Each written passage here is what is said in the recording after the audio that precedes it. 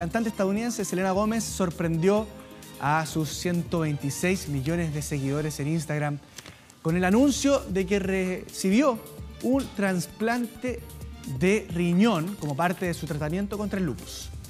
Ella lo hizo a través de una fotografía y también de este mensaje que estamos revisando en la red social.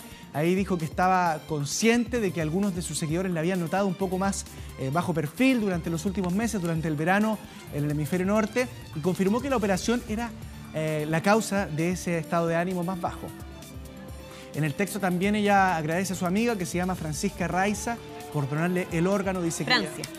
ah, Francia, digo, Francia, y la califica como su hermana. Le agradece por el apoyo. Oye, ella eh, llama la atención porque es una actriz que no es conocida. Ahora, obviamente, está en todos los portales del mundo, ¿no? Pero que es amiga de ella desde el año 2008 y que se consideran hermanas. Entonces, hace este gesto de amor absoluto que, claro, lo agradece Selena Gómez ahí en su, en su cuenta de Twitter. No, realmente un gesto eh, de mucho amor incondicional que le hace a, a su amiga Selena Gómez Francia y ahí estamos revisando imágenes de ella que son eh, muy pocas las que había. Hubo que buscar muchísimo para poder encontrar material sobre ella. Ahí está en un evento en lo que acompañó a Selena Gómez. Y como sabemos ya Selena está recuperada.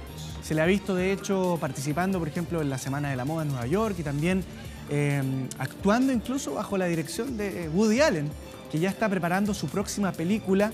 Así es que, bueno, eh, realmente un gesto de mucho amor y de mucha hermandad, incluso ahí las vemos. Esta es la fotografía que ella subió y que ya tiene cientos de miles de likes en su cuenta de Instagram. Exactamente. Tremenda historia. Sí. Muchísimas gracias.